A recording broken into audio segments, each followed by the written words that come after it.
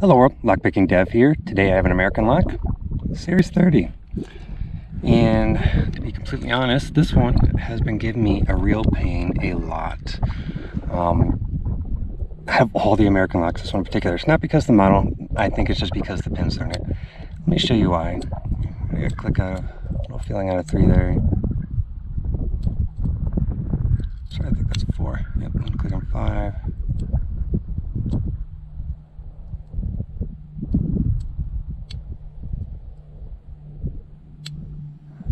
two.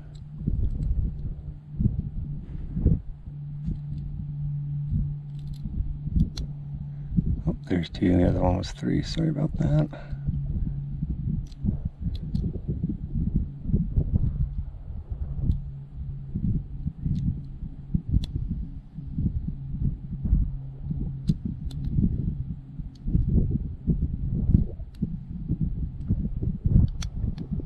go. There's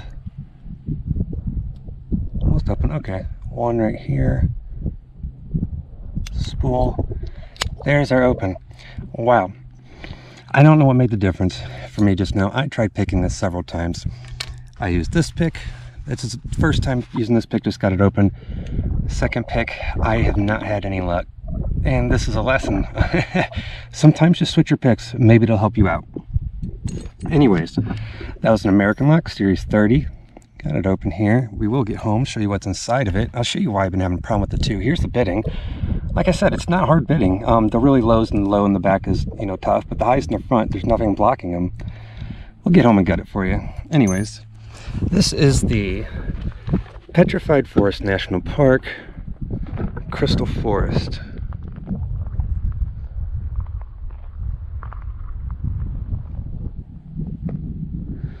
So all these logs here you see are crystallized, petrified through thousands of years.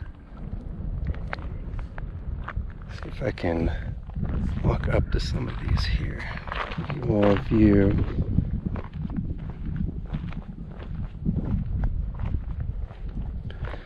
see the ends of them, they look like rock. But really, it's all crystallized. Very cool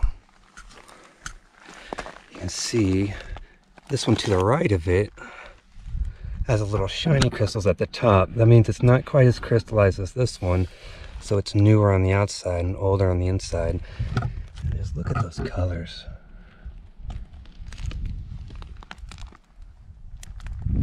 It's very cool.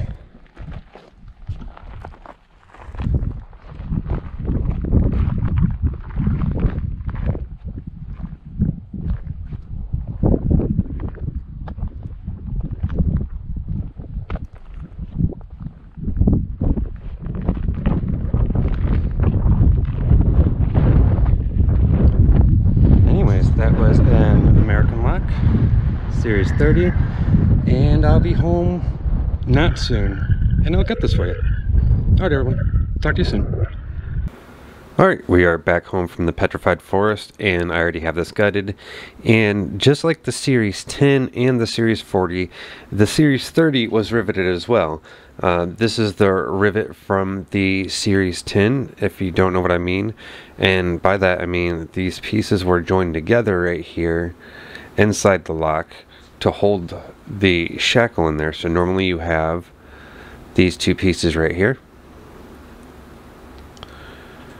That goes in the shackle area and this goes in our guard right here and to hold it in there. But no, it's it's riveted in there uh, nice and stiff that way you can't just remove it so I had to actually uh, drill it out like I did the series 10 here and replace that with these you know, the normal pieces we're used to seeing in there.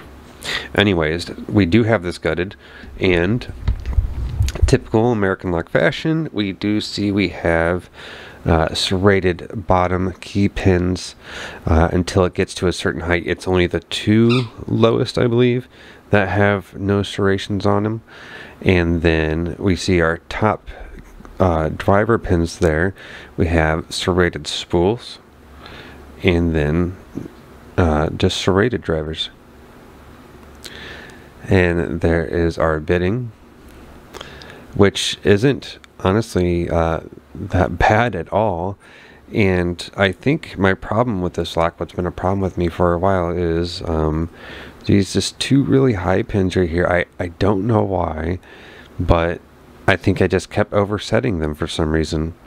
But I finally made it through it. Some locks, uh, they just hit you the wrong way, and that's just what it is. Anyways, this was a Series 30 American lock, and that was the Crystal Forest in the Petrified Forest National Park. Alright, everyone. Thanks for watching.